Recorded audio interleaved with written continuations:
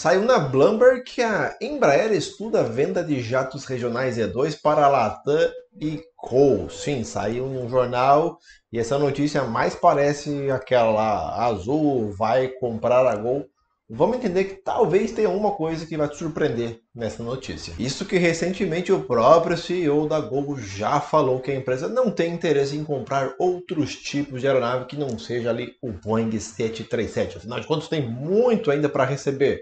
E o que todo mundo sabe também isso desde 2001, que foi quando a empresa surgiu com esse modelo aí. Não vem falar daquele 767 que ela chegou a operar, porque na verdade pouquíssimas pessoas lembram disso aí, né? oriundos da Varig. Isso aí é uma outra história. O negócio da Gol é 737. E o mais surpreendente para mim dessa notícia é que, de acordo com o CEO da Embraer, Francisco Gomes Neto, a empresa está em negociações para vender jatos regionais E2 para o Grupo Latam e a Gol Linhas Aéreas. Olha, olha, o mais surpreendente para mim é justamente que a Embraer tem uma descrição na hora de fazer as suas negociações e agora por se tratar de empresas brasileiras, se é que está rolando mesmo esses boatos todos aí, e também a Latam não é exatamente uma empresa brasileira, né? Tem um pedaço que é, o outro não é. E aí surgiu essa notícia, no mínimo curiosa. Vamos tentar entender um pouquinho melhor comigo o que está rolando aí, ó. De acordo com o Gomes Neto, a Embraer pretende dobrar a receita anual de 10 bilhões de dólares, para 10 bilhões de dólares no caso, até o ano de 2030, daqui a cinco anos e meio, e as empresas brasileiras ajudariam a fazer esse negócio, mas até que ponto isso é verdade? Eu falo que é tão complicado a gente saber o que é verdade e o que é mentira hoje em dia que, enfim, né? No segundo parágrafo diz assim que os jatos E2 preenchem uma coluna entre aeronaves menores e maiores. Isso, para quem não entende aviação, realmente fica, nossa, mas é verdade. Para gente que gosta de aviação, é entusiasta, sabe muito bem como é que funciona e as companhias aéreas desejam aumentar a sua capacidade em meio às restrições de oferta eh, de aviões maiores de fuselagem estreita, avião de um corredor.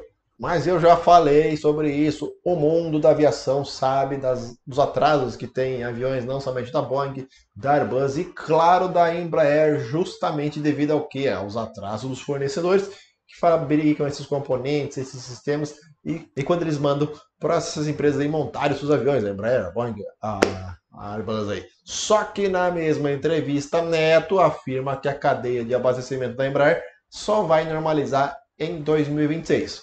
Ou seja, ao mesmo tempo que ele confirma que está negociando ali, eles também falam que estão atrasados. E como eu falei, não é nenhuma novidade. Portanto, eu acredito, ao que parece, a Embraer ela está menos atrasada nesses quesitos aí, pois ela está ofertando aviões para os seus possíveis clientes, prometendo entregas, acredito, dentro do prazo previsto. Gente, não é que eu ache ruim as empresas brasileiras comprarem é, aviões da Embraer, seja Latam ou Gol, tá? Não é que eu ache ruim, mas aqui não faz o menor sentido para quem acompanha, quem gosta do mercado de aviação, tá? Pô, vai ser legal ver a Embraer na, na, na Gol? Claro que é legal, mas assim, não é assim que o futuro tá, tá nos levando, entendeu? É legal para quem quer tirar foto, para quem quer colecionar voos em aviões é, com companhias diferentes, mas não é o que o mercado dessas duas companhias mostram. Não faz o menor sentido por coisas que eu já expliquei algumas vezes aqui no canal, especialmente em relação à proposta dessas companhias aéreas e aos custos operacionais que vão aumentar bastante caso elas venham a adquirir essas aeronaves. Ainda mais a Gol, que está em recuperação judicial devendo até as cuecas. Mas já que é para falar, vamos falar então. Qual seria essa possível troca? Bom, a Latam tem vários Airbus A319 mais antigos, alguns ali próximos já do, dos 20 anos de utilização. Ela já devolveu alguns mais antigos esses configurados para 144 assentos. A configuração do 195 E2 também pode chegar aos mesmos 144 assentos em classe única. Se tratando de Latam e de Brasil, acho que classe e aperto não é exatamente um problema para a companhia aérea. Na verdade, os passageiros aqui se lasquem. Os grandes aviões do grupo Latam são Boeing, é, você não sabia? Já os aviões de um corredor são todos Airbus de qualquer das subsidiárias da Latam, qualquer uma. Portanto, ir para uma nova fabricante aumentaria muito os custos de treinamento, manutenção, peças, entre tantos outros. A Latam é um grupo, gente. Tem, o grupo tem diversos países aqui da América do Sul. Na minha opinião, minha opinião, minha opinião, tá? Até faria sentido trocar quem? Os A319 da Latam Equador, que são quatro. Eu vou te explicar por quê. Quem já foi ao Equador sabe da geografia do país. E um avião mais econômico poderia sim gerar mais lucro em um prazo mais curto do que trocar, por exemplo, por um outro Airbus, seja lá o 319 Neo, ou pior ainda, o 320 Neo. O Equador é um país que tem muitos aeroportos em altitudes, portanto, uma aeronave precisa de mais pista, tanto para pousar quanto para decolar. E o E2 tem essas capacidades, assim como o A319, mas ao mesmo tempo também no Equador é muito fácil você se deslocar de ônibus pelo país. Eu fui lá, se quiser, confere no meu canal de viagens, tem essa viagem pelo Equador, eu garanto para vocês. E passagem aérea não é um negócio muito barato no Equador. Pode ser uma opção, mas dificilmente a Latam vai comprar para só enfiar no Equador. Vamos ser bem realistas, né? Já os 700 da Gol estão configurados aí para 138 assentos e acredite, já foi pior, sim, já foi. Isso é uma melhoria, pois eles já operaram com 144 assentos. Portanto, Poderia também ser uma troca pelo 195 E2, que tem a mesma capacidade em classe única, também não é um problema. Gente, a Gol opera esse tipo de avião em rotas com demanda menor e em pistas com menor capacidade para receber um 800 lotado, aquela coisa, gente. Pista e demanda. A situação da Gol também para alugar ou comprar aviões da Embraer é bem mais enrolada, né? Pois tem toda aquela questão da recuperação judicial, dívidas bilionárias e não faria o menor sentido comprar um novo tipo de avião neste momento. É o mesmo caso da Latam. E ainda mais porque a Gol já falou que não tem interesse. A Latam nunca falou, olha, não tem interesse em comprar. A Gol já afirmou, olha, não tem interesse em comprar outros tipos de aeronave. A Latam tem vários tipos de aeronave, entre Boeing e Airbus.